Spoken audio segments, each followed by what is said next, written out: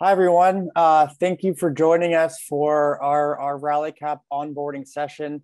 Uh, my name is Lucas. Uh, I work for the Toronto Blue Jays. Uh, I work with the Blue Jays Baseball Academy, where we focus on connecting with youth across Canada. So I'm thrilled to be joining all of you today. Uh, on behalf of the Toronto Blue Jays, we couldn't be more excited to be partnering with Baseball Canada on the Rally Cap program.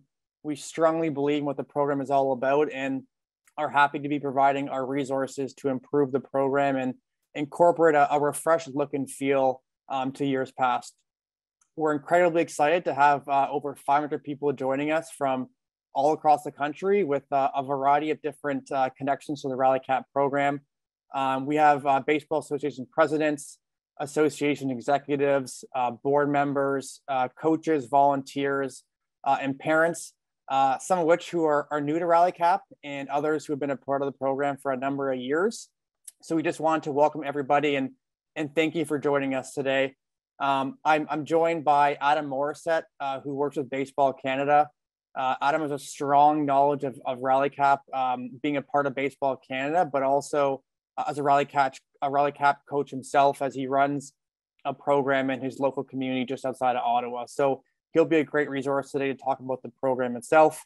Um, he'll be leading the presentation and speaking more about what Rally Cap is all about uh, and speak on about um, your association and how they'll incorporate it uh, for this season. As I mentioned in our e- in the email leading to this session, this is really designed to be an interactive resource. So we encourage you to use the Q&A function at the bottom of your screen to submit your questions. Um, we'll, we're going to be disabling the chat feature, so, so please use the Q&A function um, for all questions. With that said, we know some of you pre-submitted questions and thank you for doing that um, as part of your registration. And, and, we've done our best to answer those throughout the, the duration of this presentation. And, and with that said, uh, we're likely gonna wait to answer questions until the end, as there's a good chance we'll probably answer them throughout the presentation. So that's all uh, really for me. Uh, I will be turning over to Adam in a second here. Um, I, will be coming back at the end. Uh, happy to answer any questions about the Blue Jays involvement the resources we're providing um, and the and the new rally cap hats, which Adam will talk will touch on, um, which some provinces have have received recently, and, and the remaining provinces will receive in the next next week or two. So um, thank you again to everybody who, who's joining us today, and, and I'll turn over to Adam, and I'll see everybody at the end. Thanks, Lucas. Um, I think Lucas did a, a, tremendous job kind of capturing everything that we're trying to uh, trying to accomplish tonight. But uh, I'd just like to echo Lucas's comments on on how excited we are to have the the number of folks that are on the call tonight. And uh, certainly, the past few months have have been busy for for baseball associations across the country, and we've certainly uh, been working hard with the Blue Jays and, and our provincial members to uh, kind of get the word out about Rally Cap um, a little bit more than we have in previous years. We're we're super excited to be partnering with the Blue Jays and, and obviously our ten provincial our ten provincial members on Rally Cap and and refreshing some of the resources and uh, and and really just just uh, spreading the word on the program um, and, and, the value of the program across the country and, and really giving uh, not only the young athletes but the coaches as well you know a positive first experience in baseball certainly at the this initiation level. So so as Lucas mentioned, uh, my name is Adam Morissette. Um, I've been with Baseball Canada for 12 years in a capacity of uh, media and public relations coordinator. So with the on the communications side of things, uh, mostly with our national teams, uh, but also you know touching some other areas of the business, including uh, national championships, our coaching program, umpiring program, that type of thing. But uh, I'm here tonight with with with my my rally cap hat on. No no pun intended there.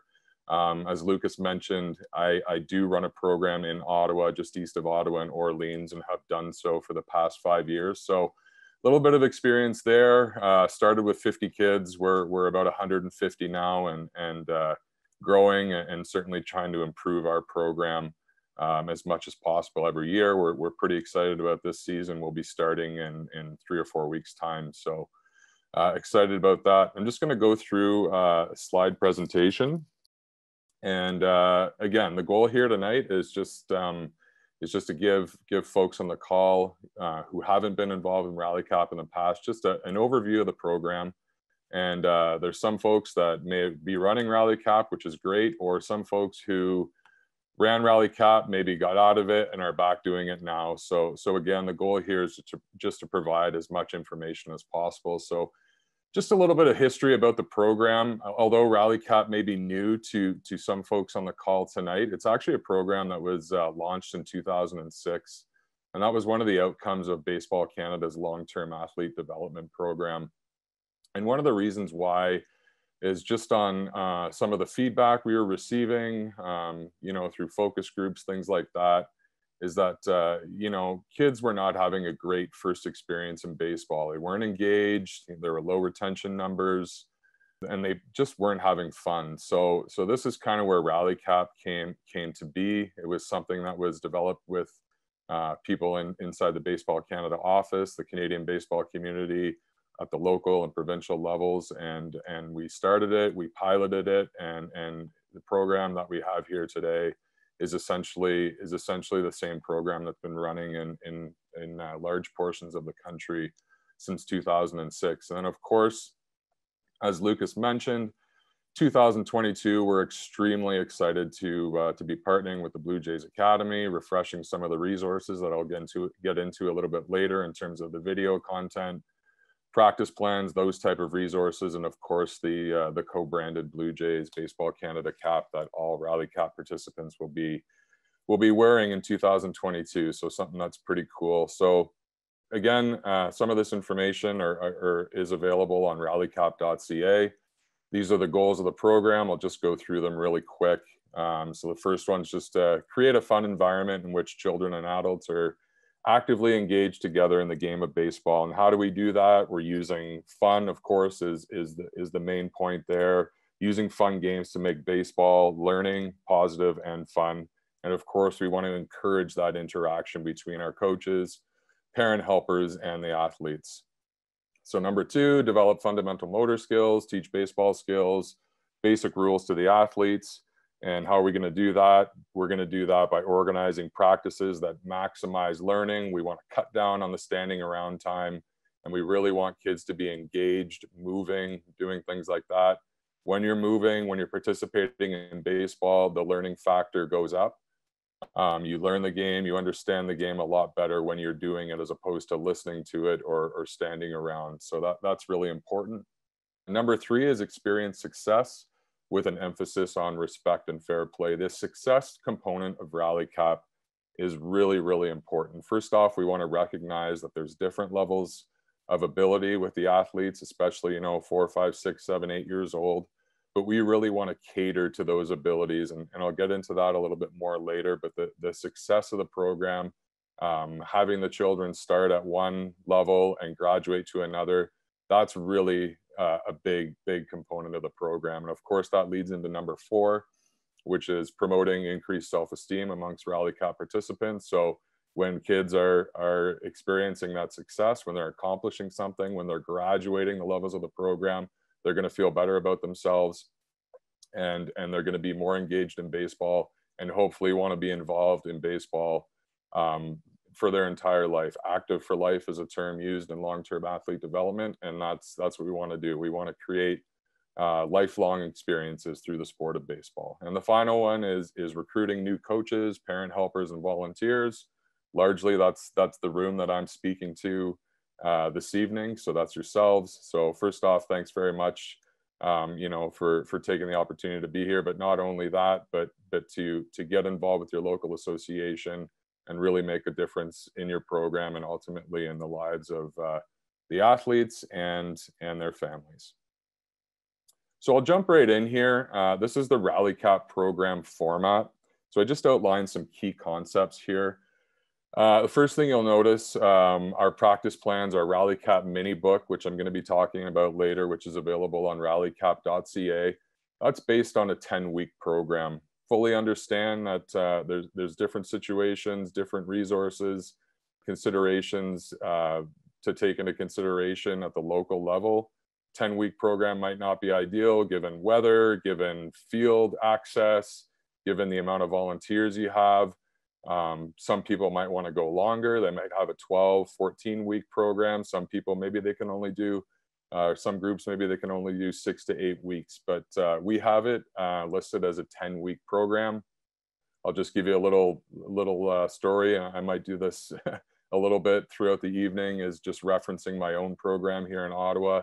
We do 11 weeks. The first week is kind of like a get to know you, get your uniform, get to know your teammates, get to know the coaches, parent helpers, and then week two we jump into that 10 week program.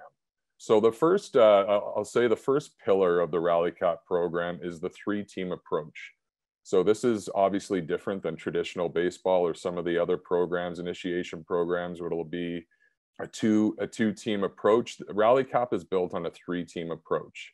Um, so at the end of a Rally Cap session, um, your team, your young athlete will have played two Rally Cap games and had one uh, Rally Cap practice in the outfield. So it's three teams there's a game going on, there's a practice going on in the outfield. After one inning, 15, 20, 25 minutes, depending on the situation, you have a rotation. So one team goes into the outfield, the team from the outfield or the practice comes in to play a game, and then you have another rotation 20 minutes later, 25 minutes later, what have you. And that's it for your your session. So it's an hour, hour and 15 minutes, hour and a half, probably maximum, depending. With the older players, some groups go a little bit longer but it's it's that three team approach that is a real key component to the rally cap program. So the second one is it's six on six baseball. That's really important at the rally cap level as well. Um, we really feel that um, you know th- those players on the so it's your infield positions it's third base shortstop second base first base pitcher catcher. You know if, if a ball's hit to the outfield and left field for example, that third baseman, the shortstop, you go and get the ball and bring it back in. We just feel that that those that six on six, it's a, it's a nice small group, a nice manageable number.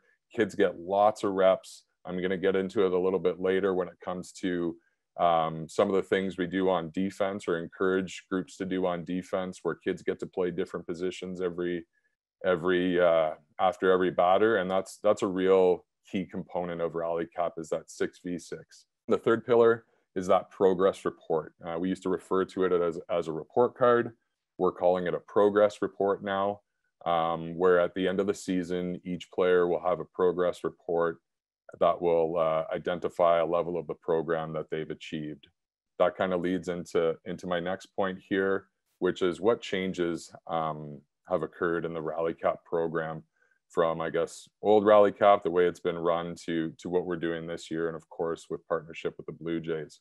The first one is that multicolored cap system. So there were six caps: white, gray, black, uh, green, blue, and red. And uh, kids would graduate through the different levels of the program, and they would be awarded a Rally Cap colored hat.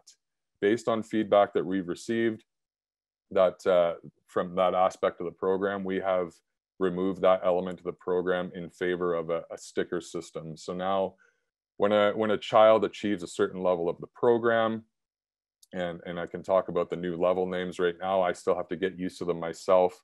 Um, but the first level, so formerly white cap, is not is now referred to as on deck. Uh, the next level is called home plate, and then we've got single, double, triple, and home run. So the former red cap, which would have been the final uh, cap you would have received as a rally cap athlete is now called home run. So instead of handing out caps, we are now um, awarding stickers, which there's a nice uh, spot in the rally cap uh, progress report. I can't call it report card, progress report, where the coach or the evaluator can place that sticker and the athlete will have that progress report and sticker uh, given to them at the end of the season. The next one is, is refreshed resources on rallycap.ca. I'm going to be, referring to rallycap.ca quite a bit. And that's our mini book, um, which contains the, the Rally Cap practice plans based again on a 10 week program.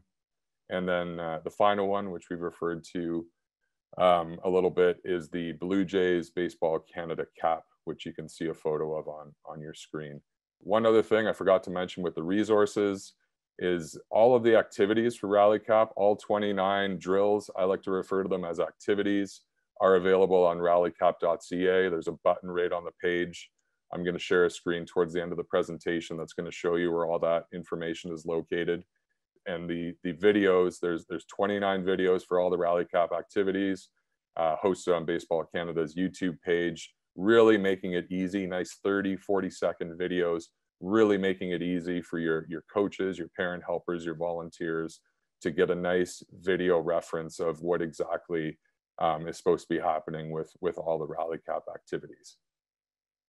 Okay team sizes. Again um, fully mentioned or fully aware that that uh, resources registration numbers coaches that type of thing is different in each each association across the country but in terms of te- team sizes, we recommend team sizes in the range of six to nine players per team. Obviously, it's six on six baseball, so six is ideal. Um, also, um, just on the point below, attendance is going to vary throughout the season. So you're playing Rally Cap in the summer months. What happens if you know three of your players are on vacation or three players are sick? Sick. All of a sudden, your team size is down to three players. So we think it's okay to go to that up to that seven, eight, nine range. I think I think if if you have four players that are on a team, I think that's kind of the minimum where you can still get that rotation from your your infield players, where it's third base, shortstop, second base, first base. Uh, we like to have a pitcher and a catcher as well, but it's not essential to run a program. So you know there is some flexibility there and and and we let and I like to recommend two or three coaches or parent helpers per team, especially if you if your if your team sizes are in that six to nine range. So this is going to allow for two, one, two, three stations uh, during your practice time. So you can split your group up. You can have two groups of three. You can have two groups of four. You can have three groups of three, which really maximizes the reps um, and the quality of, of your practice where um, you know you're gonna you're gonna be together for six to eight minutes per station uh, let's say. So the kids are in, engaged for that six minute period that eight minute period and then they're moving on to something else. So that really helps uh, helps address that um, that engagement piece.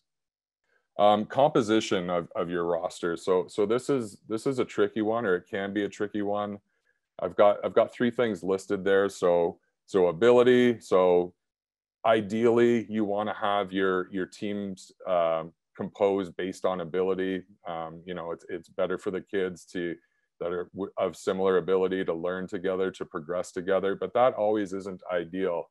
Uh, you've got age age to consider. You've got friend requests to consider, which are really important things too. So, so, so that's kind of left up to the association. I can tell you the program that, that, that I run, we, we do it pretty much by age, but we also try to accommodate friend requests, which is, which is a big uh, component, component of the enjoyment factors that friend request. Uh, people sign up for baseball because their buddies, their friends are involved. So we want to make sure that that, uh, that that component is addressed as well. I think if you go with age, you're going to be you're you're, you're going to have it in nicely in that range where you know kids of similar age chances are they're of similar ability. There's going to be outliers for sure. But um, that, that's those are just some some considerations when uh, composing your team. Equipment. This is a big one.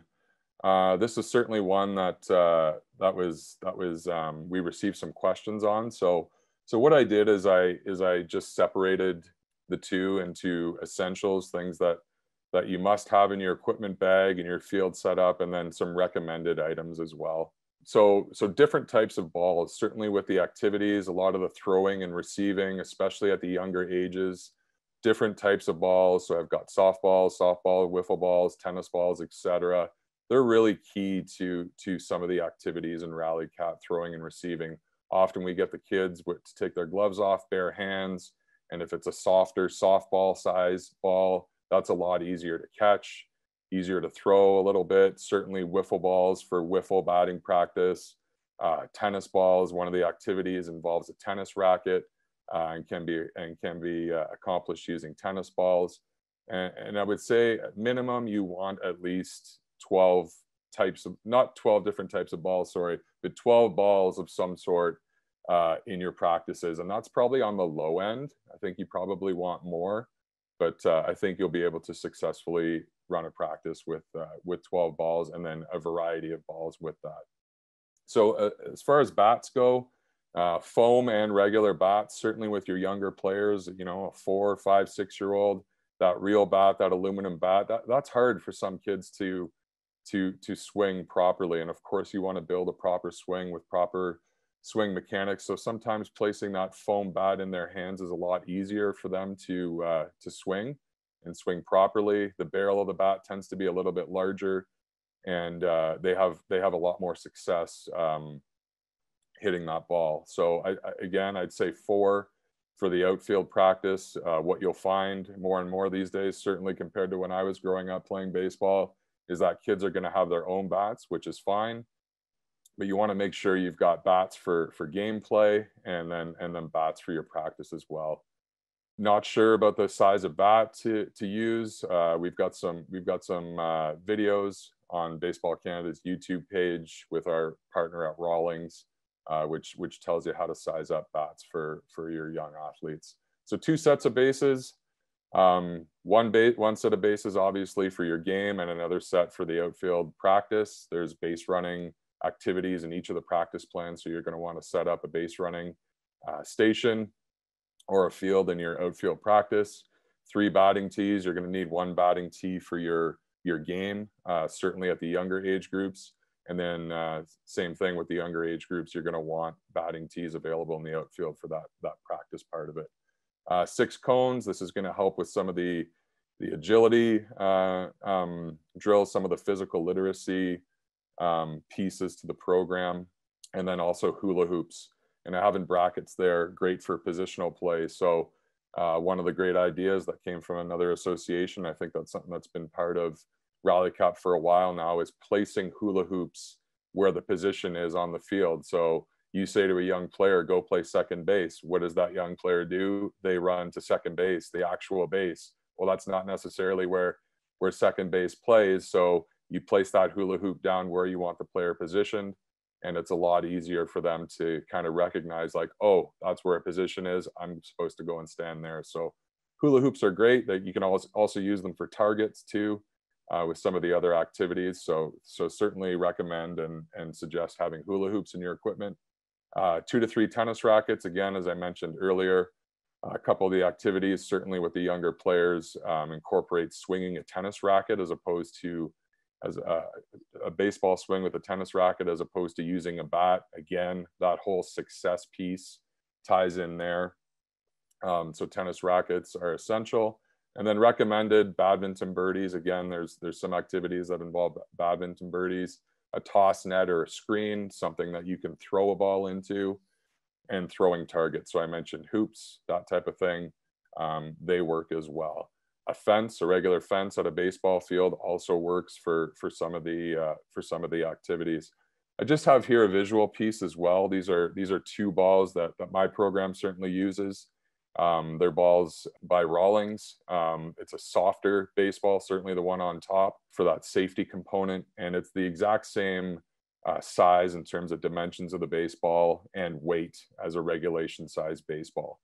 And the one below is, is also a ball that Rawlings offers. And uh, again, it's a softer core baseball and it's a little bit smaller, that, that eight, eight and a half inch ball. And it's a little bit lighter too. So certainly with your younger players, gripping that regulation size baseball, that does present some challenges for the smaller hand. So that's where this this smaller uh, ball comes into play, and it's certainly something that uh, that we use at the younger age groups, and uh, something that's beneficial when you're really trying to to get that proper grip on the ball. Okay, gameplay. So um, a rally cap game. So again, while two teams are playing a game and the third team's in the outfield, a rally cap game is one inning in length, and this is where all players have a turn at bat. Likely the same as, as some of the other initiation programs in baseball where everyone gets an at bat. The beauty about this is our roster sizes are smaller, our team sizes are smaller. So it's it's six to nine players. Again, probably that sweet spot is six or seven, where everyone gets a turn at bat.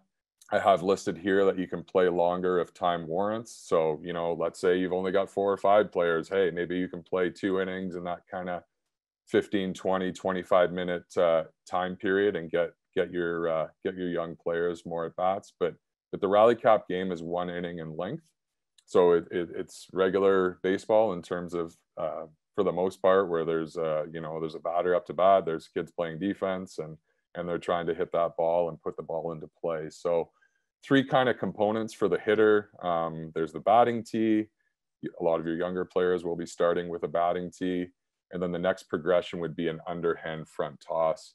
And, and why we recommend an underhand front toss is it's I think it's a lot easier to to for a coach or a parent uh, helper to accomplish as opposed to a regular overhand baseball throw. First of all, um, the eye level of the athlete it's going to be a lot more aligned with a toss coming from underhand as opposed to a, a toss coming from overhand. Some of the tosses coming from up here, a child's eyes might be looking up because the ball is traveling kind of over their head and on a downward trajectory towards the uh, the hitting area, or you know that pitch could be low. So I think the underhand front toss um, is a lot easier to accomplish. You could do it from 15 to 20 feet away um, and it gives it gives the batter it gives the hitter a lot more opportunity for success and it gives the to tell you the truth it gives that coach or parent helper a lot more opportunity for success i think too when they're doing that that underhand toss and the final one is uh, is a pitching machine that you you might want to incorporate at uh, your older levels of rally cap. There's different options available. The one that we use uh, there's different price points of course. The one that we use is uh, it's the the blue flame pitching machine spring loaded. Um, it, it, works out pretty well. Um, it's it's pretty cost effective. It works out pretty well uh, for delivering a nice pitch to the hitter more so at the that that older age group we place we place it you know th- 35 to 40 feet away and there's different velocities you can play around with but uh, it works quite well. So those are kind of the three options. And then of course the the last thing I have listed there for the hitter is is you want to ensure the success of the batter. Uh, there's no striking out, there's no walking in rally cap. Even if your your athlete is starting with an underhand toss or even a pitching machine, if they're struggling, put the tee in front of them. Let them whack the ball off the tee. Let them put the ball in play. Let them have success. I think one thing is is probably similar in a lot of the programs you're used to running is you know my kid's too, my child's too good for the tee or the, the athlete thinks i don't want to hit off the tee anymore i want to hit off a pitch or i want to hit off a pitching machine yeah completely understand that but but if if a child is struggling um, you know you can explain that uh, that a batting tee is is a useful tool that's used from from rally cap level all the way to the big leagues it's about building a foundation of a swing and and and like i was mentioning it's it's about having success so you probably give your athlete, you know, four pitches. If they're not successful on those four pitches, throw the tee in there, let them get the ball in play, and let the game move on. So on defense, uh, certainly outs can be recorded in the traditional way pop fly, you catch the ball. Um, your older level players fielding a ground ball, force plays, throwing it across the diamond. That's all great stuff.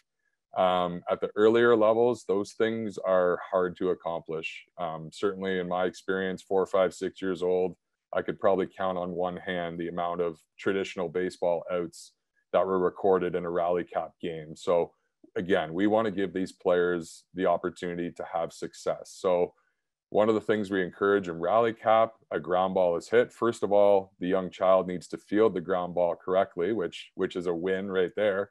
And if they do, we encourage them to touch the closest base to them to record an out. So that's one of the ways where where we're kind of modifying the game to make it a little bit easier to understand, easier to have success for the uh, for the young player. And of course, there's different things you can do in terms of like a scoring system. If a player catches a pop fly, you can award two defensive runs. If they make a force play, you can avoid you can award a um, an out or, or a point, that type of thing. You can be as creative as you wish. I'm going to skip down to number four here on defense. That's catcher's gear. That was a question that was submitted before. If you are using a catcher, certainly that player needs to be in full catcher's gear. Uh, the program I'm involved with the past couple years, we didn't have catcher's gear or, or catcher, sorry, because of that whole sharing equipment piece. Uh, given given the circumstances of the past two years, but if, if your association does decide to use a catcher, um, certainly have that player dressed in, in full catcher's gear with that safety component.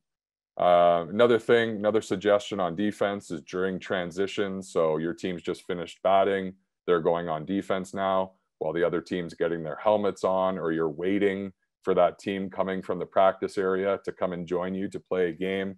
Certainly rolling grounders, um, you know, that whole throwing and receiving component of the program, that can be really be addressed during that time.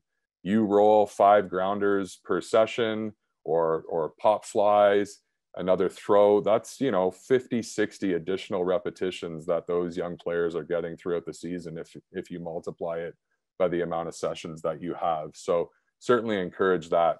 I'm going to get into point number two, the rotation of defensive positions. I've got a slide, a nice visual slide on the next one. So I will get into that in a moment, but that, that's certainly something that we recommend. Skipping down to base running. So one base at a time to start. And that kind of plays into the fourth point, which is avoiding what I call avoiding the little league home run. The little league home run is great. The kid whacks it, the ball's being thrown all over the field. He's running, the parents are screaming and yelling, the team's screaming and yelling.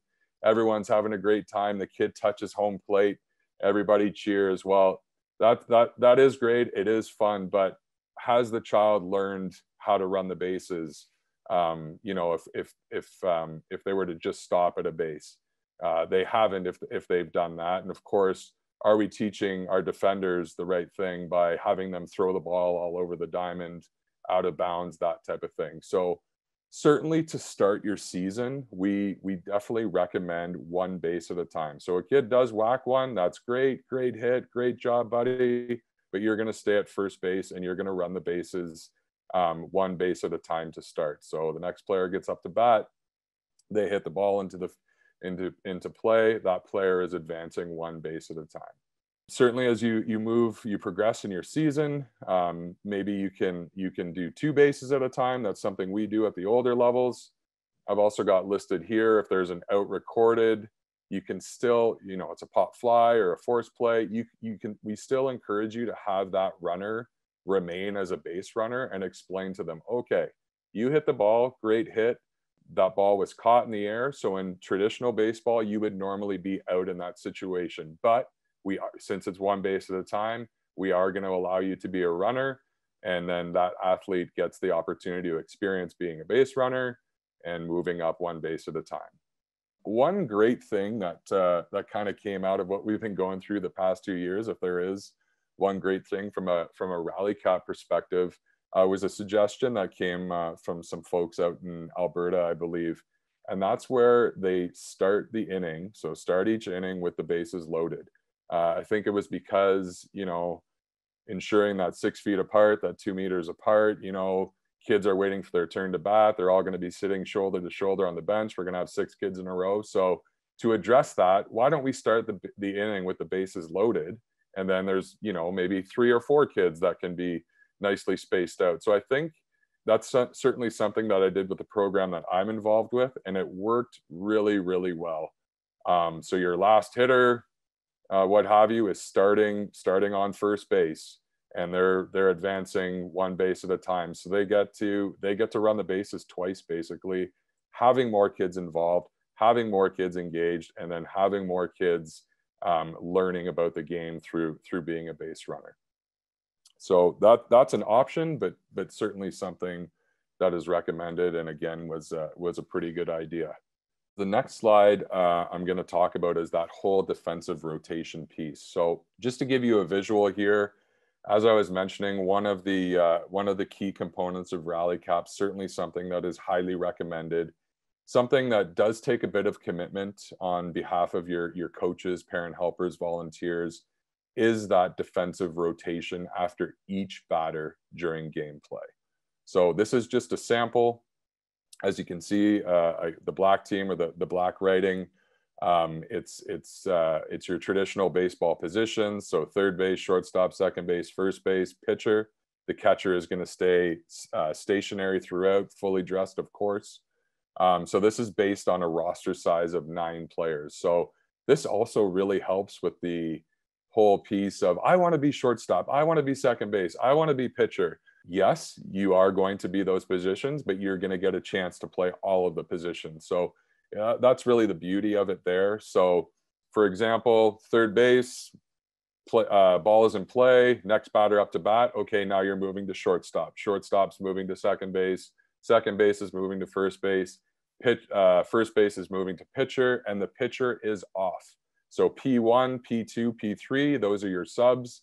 Again, this is based on a nine player roster. You're going to sit off for two or three batters, and boom, you're right back into the game. The yellow team, if you will, I've got uh, I've got the R's at each base. Those are our runners that are starting starting the innings with the bases loaded.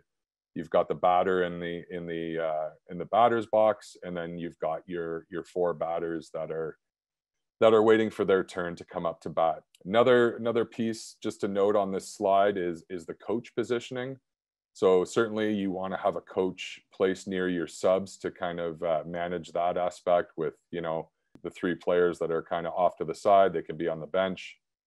They can be off and at a safe distance from from uh, from where the ball is, and a coach is kind of managing that aspect of the rotation. And then you've also got a another coach on the on the on the black team with that that's kind of in the back of the infield, so to speak. That's kind of managing uh, those players if the ball's hit out there, or or the rotation for your your shortstop, your second base, and first base. And then and then uh, of course for for the other team, the opponent, the team that's up to bat, you're going to have a coach in that pitcher's area, either operating uh, pitching machine or doing that uh, doing that underhand front toss and then uh, then you're also going to have a coach kind of managing the batting order perhaps managing uh, a tee if you're using a tee with your athletes. And then finally, um, you also want a coach or a parent helper kind of around the catcher backstop area just to manage manage balls that get back there. Certainly would recommend the coach managing those balls instead of the catcher, just so we could keep the game moving at a quicker pace. And then and then on the top right corner, that's our practice area. Um, it doesn't have to be in the right field area. It could be in center field. It can be in left field. Certainly understand that there's different circumstances at, at diff with different local levels. So um, just in, in this example, the practice area is in that right field area. But the rotation, again, like I mentioned, it, it does take some commitment. Certainly at the beginning of the season, there's going to be, you know, kind of a little bit of confusion. But I think as you find uh, the more your season progresses, the kids are going to be certainly aware that they're going to be expected to move after each batter. And it's it it really is quite nice to see as you progress through your season. Um, you know, kids that are engaged in the game, they're paying attention to the batter, and they know that they have to move. They know that they're sitting off the, for this batter, and they know that they're going to be getting right back into the ball game. So that's a really really key aspect of rally cap and it addresses so much of what we're trying to accomplish in terms of having kids engaged in the game of baseball moving around the physical literacy piece all of that um, it's really really something that's uh, great to have in your program. So practice plans uh, as i mentioned RallyCap mini book that's available on rallycap.ca in that mini book all the, the practice plans for the for the 10 based on a 10 week program are in that mini book there's some explanations in there given each of the levels of the program but the the rally cap practice plans the 10 week practice plans and for all six levels of the program are available in that mini book um, there certainly is flexibility around there. Uh, i think one thing that you'll notice right away is wow this is a lot to accomplish in that uh, in that first you know this is a lot to accomplish in a in a 20 minute practice. So don't worry about it. It's there to kind of provide variety. And and i have listed here it down below um, where it's plan a b c and d. And you're going to find two um, during your season that kids are going to kind of be more excited about certain activities than others. So i think that really kind of addresses that. But but one of the main things that that we certainly recommend is that each of your practices has that physical literacy throwing and receiving component which truthfully can be can really be addressed in your warm up portion of your your session whether that's a full group warm up involving all three teams or you're warming up as individual teams that that piece can be addressed there. And then of course base running and hitting. So those are the kind of the five key components to each of our, our rally cap practices. And you, you you'll certainly have time to to accomplish all those.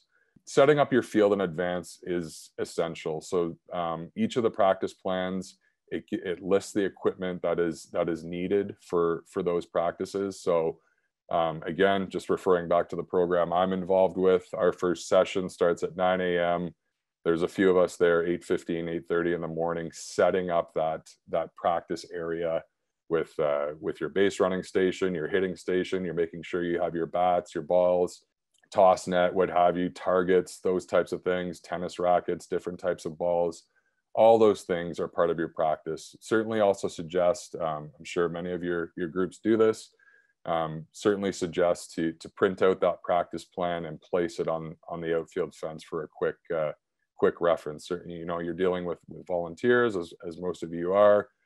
For some people, it's just you know it's just not possible. It's just a reality of of youth sport that people aren't necessarily going to read the practice plan if it's sent out beforehand. But hey, there it is. You take five minutes before your session, maybe while that warm up is going on, and you get familiar with uh, with what you're doing at practice that day. So Again, mentioned uh, this one a little bit earlier, organizing your smaller groups for station to increase the reps. Um, certainly a question that uh, that was um, that was submitted beforehand. I think the sweet spots for a station, certainly if you have uh, three, four, five athletes, is that six to eight minute range. Uh, kids are, in, you know, the attention uh, spans are short. So if you have them engage in activity for for that period of time and then moving on to something else, I think you're really kind of getting those good quality reps in. The kids are engaged for that period, quick demonstration, um, and then they then they move on with it. Kids learn while they're while they're participating or, or doing something rather than listening. I, I certainly find as uh, you know with my involvement with baseball and a little bit with minor hockey. So um, certainly certainly suggest to get them moving, get them active, get them engaged right away. So the plan there there is a lot of repetition in the plans, and that's by design um, again, that's that's kind of cutting down on that explanation, that demonstration uh, aspect of it. You know, if it's something that you did last week and it's in the practice plan again, that's good. You won't have to spend a lot of time explaining it uh, the next practice, and and we've kind of conveniently named all the uh, all the activities. So if you're you're like, okay, okay, kids, we're going to be doing the crocodile, or we're going to be doing between the two, or the wheel the kids as they move on throughout the season they'll recognize they'll know the names of those activities and then you can kind of get down to work quicker. Um, they'll pair off what have you whatever the activity suggests they'll they'll know what to do. Just that that flexibility where you can where you can adjust according to your own specific program. Um, i mean certainly the practice plans are there as a guide as a resource. They're there for people to use, but you can adjust according to uh, according to your own specific program. Again, suggesting that you have that physical literacy, throwing and receiving, base running and hitting components addressed. Rally cap day. So so this is that that evalu the evaluation component. This is where our progress report comes in and um, and and we suggest to have at least one rally cap or evaluation day during your season. So when you when you think about this, it may be intimidating for some, like the word evaluation, where a child may feel or a family may feel that that they're there and they need to perform on this day. But I think the messaging here is about celebrating the success, celebrating you know all the skills all the great baseball knowledge skills that they've acquired throughout the season and having that special day to kind of showcase those skills. You're going to be having kids probably around the same age same ability hopefully for the most part. And this is a day where they're all kind of um, participating together and and uh, and they're getting that kind of celebration to this to uh, to the end of their season. So um, again, this is probably going to be a little bit different than your traditional rally cap session in the sense that, um, and you'll see, see on one of the next slides where we have our progress report, um, where, where you're going to set up in a, your field. So you're going to have a hitting station where uh, the child's going to be evaluated. You're going to have your base running station, throwing and receiving stations, and physical literacy, literacy stations as well. So some associations like to do the evaluation day at the beginning of the season uh, just to see where their kids are at and maybe form teams that way. Other associations, they may form their teams right from the registration process, taking into consideration friend requests, that type of thing. But certainly towards the end of the season, you definitely want to have a rally cap day. Uh, be be creative as you like. You know, you could have face painting, barbecue, those types of things. Certainly, um, probably with with most of the people on the call, initiation levels of baseball, chances are it's probably something you've done or you're doing already. Um, but with the rally cap day, it's it's just important to get that kind of evaluation component. So again, that you can fill out those report cards, have your coaches, have your parent helpers, or an evaluation committee. There's different ways you can do it. Fill out those report cards. Um, probably hand them out at your last session where the kids are are rewarded for the success that uh, that they've accomplished throughout the year and all the fun that they've had um, playing baseball. So that's just a little bit on Rally Cap Day. Brings us to to uh, to one of the final slides here is that progress report, and and that's something that uh, that you're going to be filling out for for all of your athletes to present to them at uh, at the end of the season. So I'm not going to go through through all the levels. Um, this is something that's available on rallycap.ca. The progress reports, of course, um, you're going to be getting those if you haven't received them already.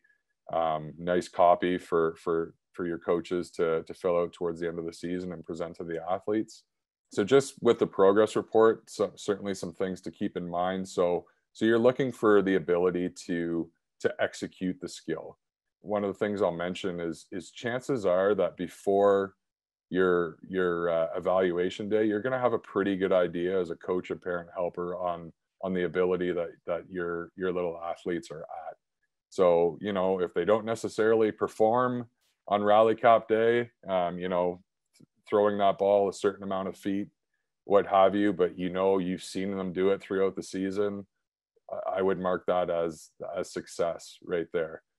Certainly, as I mentioned earlier, um, it's a low stress environment. It's not a tryout. Nobody's making a team. It, make it as fun as you can. Again, that whole success piece is really crucial to the program. Uh, sense of accomplishment. It ties into the self-esteem aspect there's there's really some some great messaging that uh, that you can do to kind of make that rally cap day as fun as possible. Another great question uh, that was submitted beforehand was um, should we keep track of our of the, the levels that the athletes have uh, have accomplished from year to year considering an athlete can be in rally cap for four or five years and, and the answer is a resounding yes you know you want to reward success. You want to see where a player was at, you know, last summer, August, September. They've grown. They've played a little bit of baseball. They're they're going to be better the next season. They're going to improve. So you certainly want to keep track of their progress. And uh, just final final one. I mentioned this a few times before, but uh, each player will receive that uh, that progress report, and it'll have a sticker on that progress report representing the, the level that they've accomplished throughout the year. So our resources page, we really want to encourage encourage all you folks to to reach out to your, your provincial associations if you have any uh, if you have any questions. Uh, there there are Rally Cap experts or Rally Cap leads in all provinces. Uh, that information you can find on baseball.ca. Going to the About tab, and, and there's a there's a link there for provincial associations. Rally Cap mini book, practice plans, all the videos, Rally Cap activities. They're available on rallycap.ca. Uh, you go to baseball.ca under programs, Rally Cap initiation program, and then you land on the Rally Cap page or rallycap.ca. And there's links. There's nice uh, images, image links for for the drills. takes you to our YouTube page, and then uh, access to the mini book, which contains all the practice plans. I think I'll stop there and then and then take any questions uh, you may have. Awesome. Thank thanks so much, Adam, and, and thanks everybody for for sticking with us for for that. There's obviously a lot of information there, and and hopefully this makes you feel a little more at ease um, running the program this year. I know um, Adam is is, a, is a, such a pro and an expert in this area, so feel free to keep the questions coming. Uh, our, our, our, my lovely colleague Jeff, uh, who's been in the chat helping answer some of these questions, um, that he that he can answer, and, and the rest um, I'll I'll pass along to Adam here, and and we'll get answers for everybody. So um, I think you just touched on this, Adam, at the end, um, but Peter's asking how often should evaluations uh, for the sticker purposes take place? Yeah, so uh, a couple ways you can do it. Like I mentioned, some some folks like to do that uh, that evaluation at the beginning of the season, just to you know, maybe form teams or place groups of similar ability. but uh, like I like I mentioned in the slide, you, you, need to do at least one evaluation day. And and again, the program I'm involved with, we do that the second to last session of the year. You know, we got the clipboards out, all the all the stations are there, the evaluators are are, are marking the progress, mark taking note of the success of the kids, and then we hand out those report cards on our last session of the season. Awesome. Chad, here's a question. Um, it looks like this is for two days a week. Uh, is the three uh, game format both days, or is is one day a sixty minute practice? Yeah, no. So it's uh, so the Rally Cap session again is uh, it's based on the three team approach, and it, it, at the end of a Rally Cap session, your your uh, your team will have played two little mini games and had a practice. So again, I know I mentioned at the beginning where it's it's different in each association, um, different different areas of the country certainly. So the the Rally Cap uh, mini book, the practice plans, it's based on a 10 week program. So if you're doing it two days a week, you're, you're having a five week program. If you want to spread it out a little bit more, yeah, it's it's based on the 10 week program. But but the Rally Cap session is too many games and a practice. Uh, Don is wondering, is the old app updated with the current information? Great question, Don. Unfortunately, it isn't. Uh, certainly, this is something we're going to look towards uh, in the off season. But for right now, um, the updated refresh practice plans mini book is available digitally on rallycap.ca. I'll just add on to that quickly that um, like with our involvement um, with with the Rally Cap program, like we were all about feedback, and know Baseball Canada is as well. So if there's things like that throughout the year that you realize could be beneficial for the program, please let your provincial bodies know and and they'll forward along that those messages to us. Uh, we've, got, we got Melissa here. Um, do you have, do you have places where you recommend where to purchase the foam bats in bulk uh, and any other equipment needed? Um, I, I, would just recommend going to your your local sporting goods store or whatever uh, contact your association has. Uh, chances are if they're purchasing equipment through a specific store supplier that uh, that they will have that foam uh, foam bat product available. Amy has a question here. How do you navigate foul balls yeah i, I think what you mean uh, amy is uh, you know if a kid hits a foul ball what do you do it's a foul ball and you want uh, you want the the ball to be put into play before the child takes off and and runs to first base if you're hitting you know, if the kid is just hitting foul balls five, six, seven in a row, maybe at that point you might want to turn the tee or or something to try and get that ball put into fair play. But maybe you're you're letting them hit and then you're rolling a ball into fair play just to kind of keep the game moving. Um, Dylan has a question. When you say proper shoe, does that mean cleats or just running shoes? Either, either is fine. Either is fine certainly see kids. Uh, I could talk about my own kids. My own kids play soccer. They have one pair of cleats. They use the soccer cleats when they're playing baseball. You know, baseball cleats. There's also kids that use running shoes, but but bare minimum they have to have those those running shoes on. Certainly, if the conditions are a little bit wet, cleats help, but uh, running shoes are perfectly fine. Perfect. Standing in the question here during defensive rotation how do you get the helmet to the first base player who is transitioning into the pitcher rotation? I assume the pitcher needs a helmet for safety reasons. Yeah, again, that's that's that's kind of up to you. I've seen programs that all their all their defensive players are wearing their helmets. Um, if your program feels that that uh, that the pitcher should be wearing a helmet, maybe it's that coach, um, parent helper involvement where they have the helmets, you know, on on one of the benches and they're they're tossing that helmet real quick for the pitcher to to put on their head. There's I've also seen programs where, you know, the pitcher is standing back at a safe distance. They're not necessarily 20 to 30 feet away. They're in that, you know, 50 50 foot range where it's a little bit safer and of course you've got a coach or a parent helper that's in that area as well to to ensure uh, the safety factor too. Great. Question from Todd. You, have talked a lot about the three team approach. He's asking, yeah. um, can you use a four team approach? I mean, I don't see why not. Um, again, mentioned this a couple times where uh, where it's different according to uh, to where you are in the country and registration numbers and whatnot. But I think you know one of the things why Rally Cap was designed is we we were finding that that sessions may have been too long So just make sure you're keeping that into consideration where you don't want, you know, a two hour, a two plus hour session at, at, at the younger age groups because the quality factor, the engagement factor may suffer a little bit. But you could, I think, have a mini rotation where maybe two teams are in the outfield practicing, certainly if you have the space, and then you know you would you would have a schedule where they would move around. Maybe you're only playing two of the teams out of the four, that type of thing. But I think I think the flexibility is there to to cater the program to whatever works to for your needs. Awesome. Evan, we got a, a little bit of a longer question here. Um, we live in a rural community with one team of approximately 12 players. We travel once a week to play a game against another town. With one scheduled practice a week and one game a week, do you recommend having a practice day as activities only or splitting the team and having a mini game and activities? Yeah, I mean, I think 12 players is great because you can have, you can run a rally cap session you know maybe the two teams are practicing on their own for 20 minutes and then they're playing two 20 minute games. So i think 12 is fine.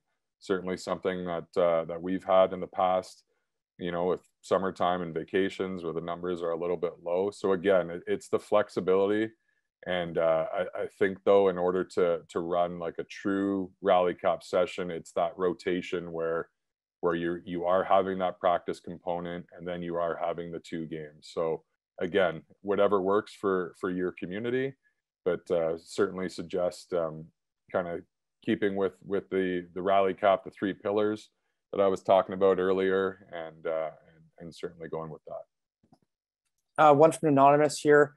Uh, do you have any strategy or advice on how to get parents to volunteer to help on the field, and also want to be an assistant coach? How many helpers would you recommend is needed at each session? Yeah, so I think I mentioned that probably if, if your, your your three team approach is you want two to three uh, coaches or parent helpers to uh, to be on hand, and I, I think sometimes the term coach may be a little bit intimidating. So maybe if if you're saying, hey, we need we need a few parent helpers to to you know uh, help with the sessions, help with the team, make sure the kids you know the kids that are waiting for their turn to bat they are you know they have a parent with them to kind of help along with that process.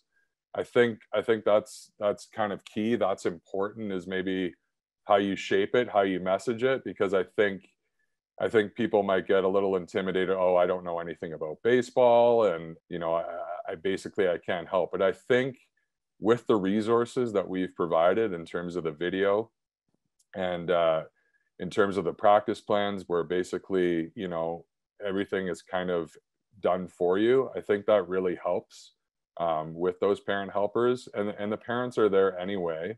And one thing that's really worth worth mentioning at this age group is that the kids really enjoy certainly the kids that i'm involved with they really enjoy when their parents are are out there engaged and helping with the sessions so i think maybe maybe maybe messaging a little bit different will uh, might uh, lead you to some some success there I'll just add on to, to that for Adam. Besides all his great points, maybe maybe another little selling point for for coaches and, and, and parent helpers this year is um, along with all the kids receiving that that Blue Jays and Baseball Canada branded hat, um, those coaches as well will receive uh, that that hat as well in an adult uh, version of the size. So um, feel free to to use that as a little bit of a, of a push as well on top of all things that Adam mentioned.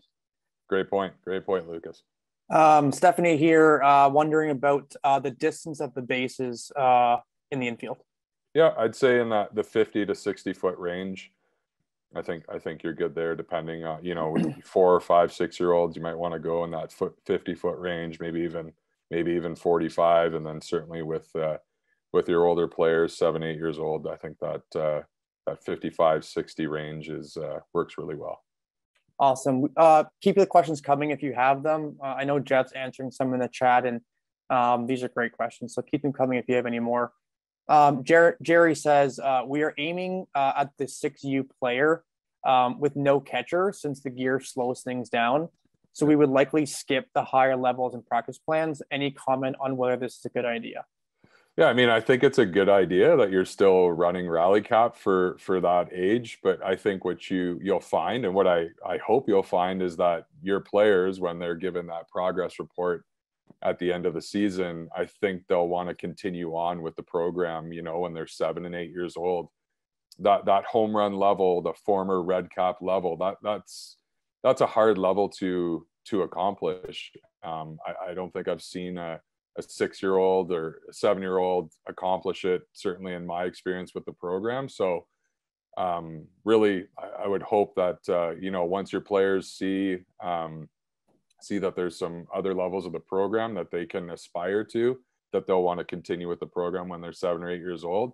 But I, I certainly, if you're saying you're running Rally Cap and you're only doing it for that 6U level, I'm not to not going to say it's not a good idea. Certainly, anytime you're doing rally cap, I think it's uh, I think it's a great idea, and I'm sure the the Blue Jays feel the same way. Absolutely, Fred. Here's a question. Um, in the case of rainouts, uh, we don't have time in our schedule for makeup sessions. Would you skip that practice plan, or would you continue along the plan uh, in order, concerned that the skills built on each other, um, and if you miss one, the athlete is missing out?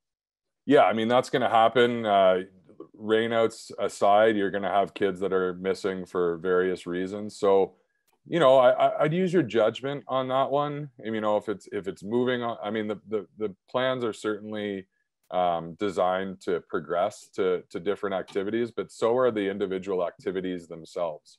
So, and I would recommend this that if you know you're finding it's too difficult for your athletes or you're moving on to something too soon, don't feel like you have to move on to the next uh, the next practice plan because it's week seven and and and you have to do the week seven plan.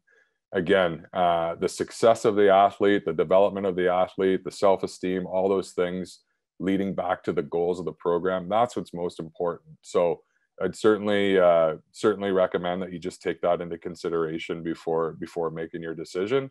But uh, you don't don't feel like you need to to be on week seven because it's week seven. You you can cater your program to your your specific needs how you wish. Perfect.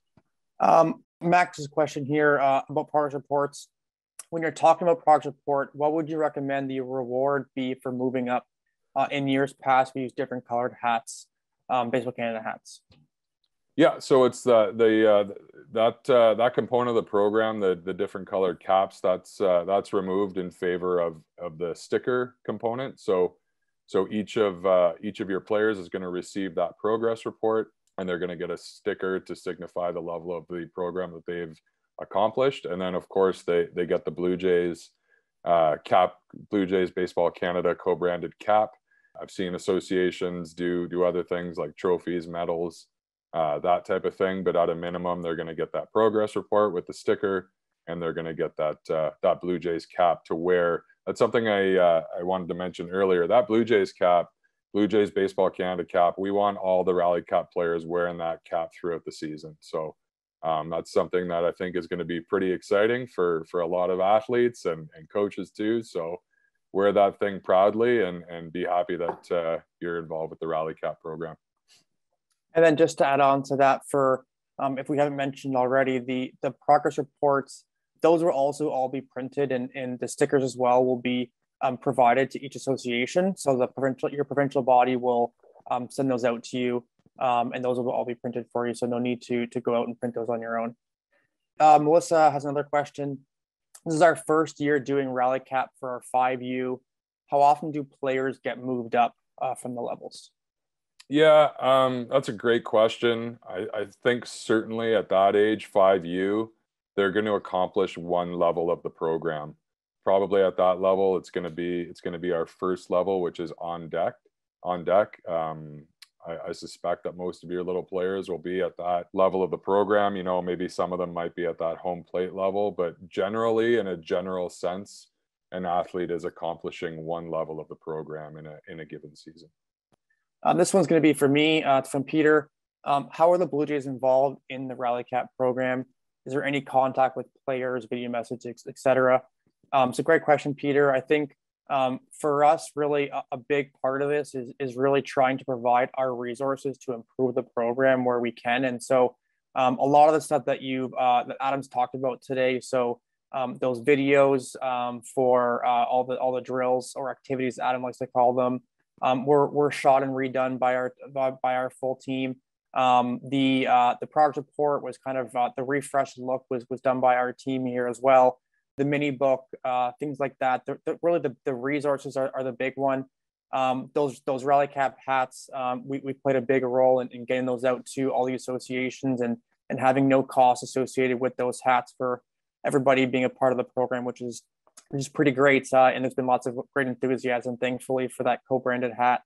And then we're also providing um, each province um, with funding to to uh, have a rally cap coordinator in each province, and so they'll kind of be the main point of contact for each association, and really be able to have a dedicated person or, people um, focused on being able to provide that support uh, for associations, answer questions, in some cases show up at fields and, and be a part of the whole experience. So that's kind of our involvement uh, this year. I think moving forward, we'll continue to evaluate our, our partnership and, and how we can kind of continue to improve the program. And we don't want to make any promises with players, um, but as of right now, just kind of providing those resources to improve the program where we can. Uh, Melissa has another great question. Uh, when will we be getting our box? I have not received anything. Melissa, great question. Um, I, I, believe you're from Ontario. Um, and so uh, for Ontario folks, um, you'll be receiving that probably the next the next week or two and, and for folks in other provinces, pretty similar timeline. If you've not received it already, probably in that similar timeline. However, I'd, I'd reach out to your provincial body um, and have them kind of uh, direct you with with the time frame that they'll uh, they'll they'll be able to shipping that out to to your association. Um, Brian, I think it's a very similar question. When should we expect our caps and resources to arrive? So same kind of comment there. Um, for folks in Ontario, that they're probably arriving the next week or two. And I would imagine that in other provinces, it'd be a very similar timeline. Um, don't want to make any provinces, just feel free to reach out to your provincial body. As Adam alluded to, if you don't know um, who that is, um, feel free to go to, to, to baseball.ca and um, and they'll be able to, to point you in, the, in with the email and contact information there. Awesome. That that I think is everything that we have. Uh, I know there's a lot of questions that uh, Jeff answered in, in the chat on his own. So um, thanks, Jeff, for jumping in there. I think that's that's really all we have for today. Um, if you have any other additional questions for for Adam or for us at the Blue Jays, um, feel free to reach out to us. If it's anything specific about running the program, um, logistics, things like that, uh, please reach out to your provincial body as, as they'll be a great resource to to answer those questions for you. And again, on, on behalf of the Blue Jays, uh, just wanted to thank Baseball Canada for for uh, kind of working together on this program and thank everybody here for for getting getting involved and and um, we really believe that this is really the best entry level program in the, in the country and, and for the sport and um, I know we're all passionate about the sport and I think it's the best way to continue to grow it. Um, keep kids playing uh, get them excited about the game and and kind of continue in the sport and, and hopefully uh, really really love to, to or really kind of learn to love the game that uh, we all love uh, ourselves. So um, thank you. Uh, I can turn over to Adam for any last words but just want to thank everybody again for for showing up and and being a part of this and, and connecting with uh, the youth across the country as they really are the future of our game.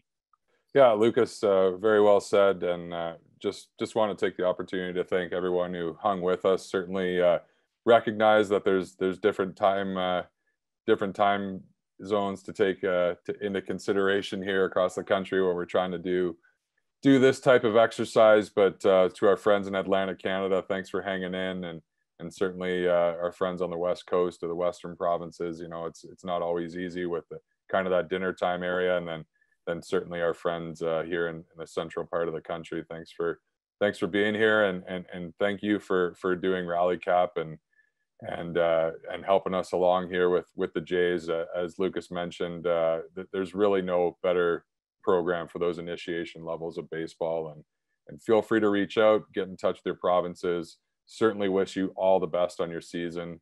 And uh, and, and thanks for being here tonight. Thanks everyone